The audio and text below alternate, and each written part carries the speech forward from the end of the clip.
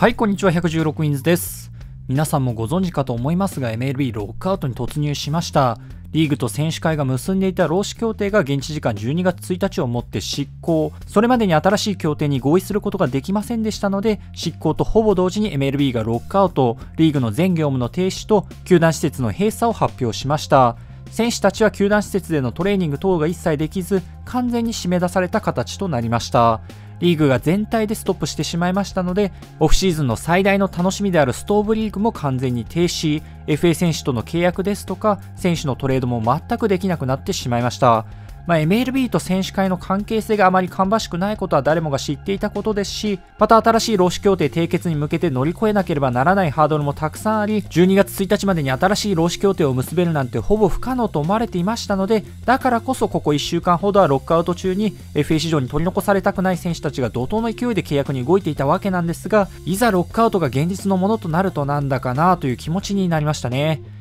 ロックアウト突入の際にマンフレッドコミッショナーから野球ファンへの手紙という形で今回このようなことに至った経緯を説明していましたが野球ファンに対して誠意を見せたというよりは選手会のせいでこんなことになったんだ俺たち MLB は悪くないんだとある種言い訳にも聞こえるような文章で、いやお前そんなんしてる場合じゃないぞと思ってしまいましたが、まあ労働争議なんてお互いの正義がぶつかり合いますので、こんなもんなんでしょうか。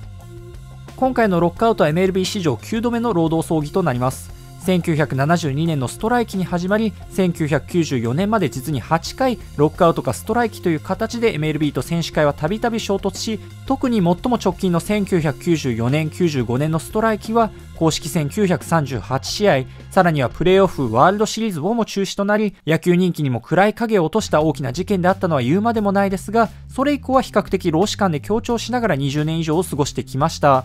が、近年は MLB の収益が拡大の一途をたどっている割に、選手側の見返りが必ずしも多くないせいか、選手会がかなり不満を募らせており、対立が先鋭化、昨年はコロナ感染拡大の影響で MLB 開幕が延期となっていましたが、主に選手に対する年俸の支払いが争点となって、開幕をめぐる労使間の交渉が泥沼化、最終的には合意すらできず、コミッショナー権限で開幕したことも記憶に新しいですよね。MLB ではこれまでロックアウトが公式戦中止にまで至ったケースはありませんし、まだ12月などで開幕まで時間がありますので、今回ロックアウトしたからといって、すなわち MLB の試合が見られなくなるというわけではないと今の段階では思いますが、これだけ対立している両者が果たして数ヶ月間でちゃんと交渉をまとめることができるかはやや不安も残ります。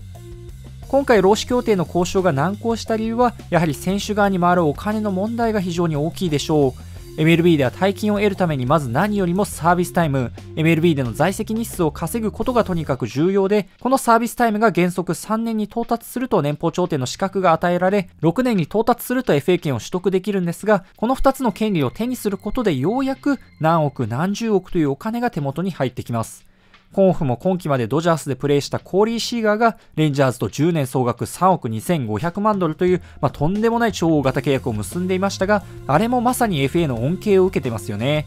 こういった高額契約が目立つ MLB ですが、ただ裏を返すとまだデビューしたばかりの若い選手たちは、こういった権利が当然ないので、そういった選手たちはどれだけ活躍したとしても、最低年俸に近いような金額でプレーすることを余儀なくされます。チームからしたらこんなにコスパの良い存在はなく、アスリートとしても優れる若手選手たちを起用しない理由もありませんので、近年はどんどん若手偏重の傾向が強まっており、中間層の選手たちがなかなか FA 市場で契約できないケースも近年はよくある話です。また翌年のドラフトでより高い順位の指名権を得るためにわざと勝ちに行かない、いわゆるタンキングもアストロズの成功によって多くの球団が真似するようになり、そういったチームは補強にお金を使いませんので、こうなると一部のトップスターを除いて選手にお金を出さない傾向が一層強くなってしまったのも選手たちには逆風ですよね。この結果 MLB 選手の平均のサービスタイムは2003年から2019年で23%減少しまたコロナ禍以前は MLB の収益毎年拡大を続けながらも選手の平均年俸は2017年から2021年で逆に6.4%も下がってしまったというありさまです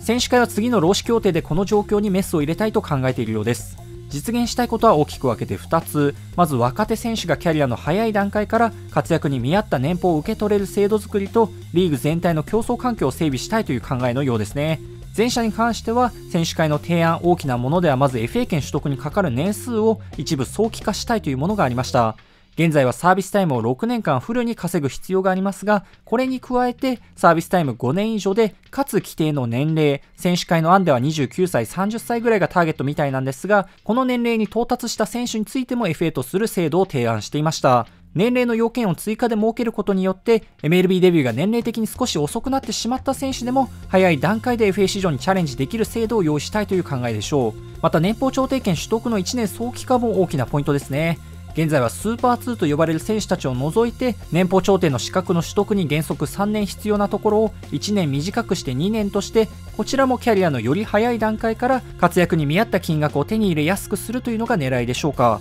最低年俸の引き上げも要望しているようですが、制度面で大きな変更が生じるのはこの2つかなと。で、続いては競争環境の整備としてのタンキング防止策の導入ですね。現状完全ウェーバーで、とにかく負ければ負けるほど、いい順位の指名権を得られる現在の決め方を変更したり、収益分配の構造にも手を加えることで、工業的に魅力のあるチームを作らずとも、儲かってしまう今の制度にも変更を加えたいという考えのようです。選手たちのサービスタイムがどんどん短くなっている現状、キャリアの短縮化が進んでいる現状を踏まえると、このような提案が出てくるのも納得はできますし、タンキングを防ぐことでもっと補強にお金を回してもらいたいという意図も理解はできます。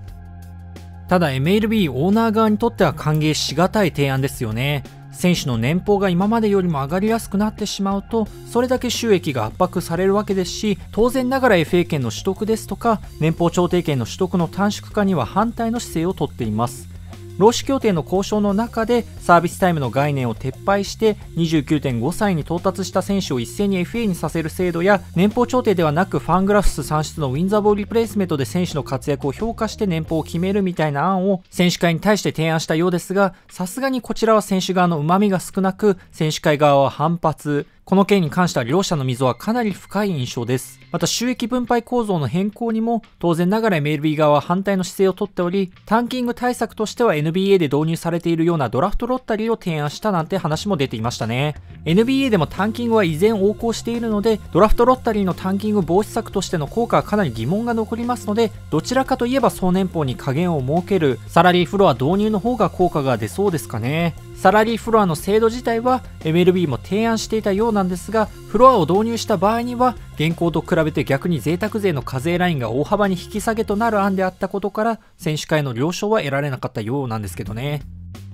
まあ、この感じだとなかなか両者の間埋まりそうにないですかね。特にネックとなっているのが FA 権取得のようで、選手会は絶対導入したいのに対して、オーナー側はこれを取り下げない限りは、選手会が出してきている案に対してカウンターオファーしないみたいですし、ここはしばらく問題となりそうかなと。ただいずれ妥協点は探る必要があるんですが、ここに至るまでまだまだ苦労しそうな印象です。両者の妥協点を探るにあたっては、それぞれが持つ交渉のカードを、例えば選手会側は MLB が希望しているプレーオフ枠の拡大を容認、MLB 側は収益拡大のために14チームのプレーオフを希望していて、選手会側も12チームまでは容認するスタンスを見せたようなんですが、この MLB 案を認めたりですとか、また MLB 側は年俸調停のプロセスを情報、まあ、現状もサービスタイム2年で年俸調停権手にしている選手もいるわけですし、FA 権取得と比べたらここが一番情報できそうな箇所の印象ですが、年俸調停のプロセスに関しては選手会側の意見を最大限尊重したりですとかこういったそれぞれが持つ交渉材料をいかに活かすのかも今後の交渉の鍵を握ってきそうかなと思っております。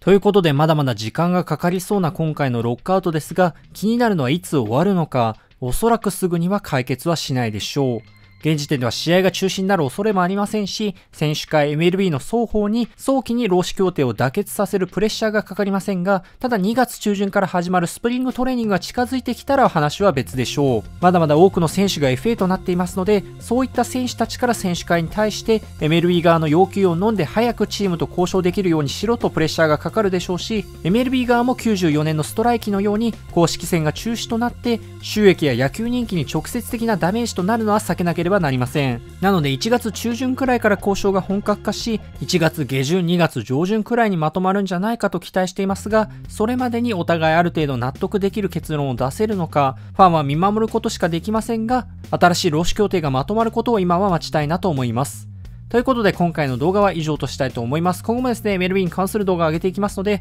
興味のある方はぜひチャンネル登録していただけると幸いです。それではご視聴ありがとうございました。